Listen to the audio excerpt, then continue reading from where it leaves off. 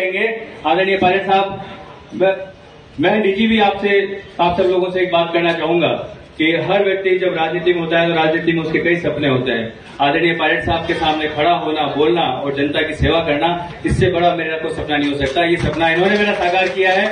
मैं इनका सदैव ऋणी करूँगा।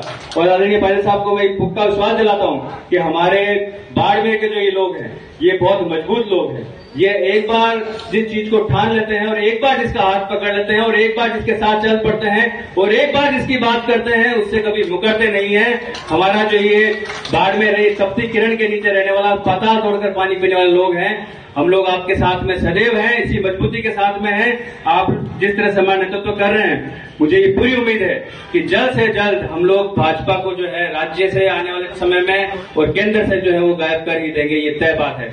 आप यहाँ पधारे आपने हमारा इतना मान सम्मान रखा, आपके असीम स्नेह प्रेम का मैं सदैव ऋणी हूँ, हम लोग सब ऋणी हैं और एक बार आपके आने का हम सब लोगों को जितनी खुशी है, उतनी ज़ोर से तालियाँ बजा के आप इन सबका जो है एक बार सामना करें मैं आमंत्रित करूँगा आदरणीय सचिन पायलट साहब से कि वो आशीर्वचनों से हमें जो है लाभान्वित करें। जय माता जी की। राम राम।